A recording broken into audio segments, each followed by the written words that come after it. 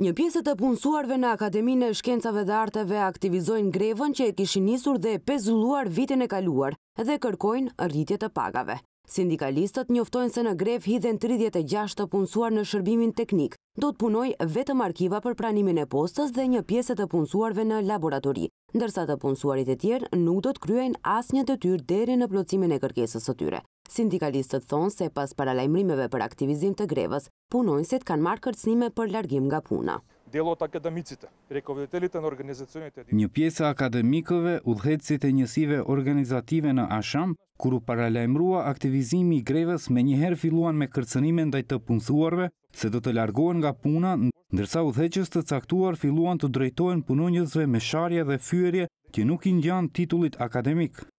u dërgoi porosi që secili që do të bëjë presion dhe do të kërcënojë do të publikohet me emër dhe mbiemër, pavarësisht se për kënd bëhet fjalë dhe çfarë funksioni kryen në ASHAM. I pyetur lidhur me deklaratën e zëvendëskryeministrit të parë Izet Mexhiti, i cili kohë më parë tha se Akademia duhet të hapë dyert për shqiptarët, Kryetari i Sindikatës së ASHAM-it tha se nuk do të komentojë lidhur me shkencëtarët, por sa u përket punësimeve të reja, konkurset janë të hapura për të gjithë, por në pesëmbëdhjetë vitet e fundit nuk paraqitet askush pikërisht për shkak të pagave të ulëta.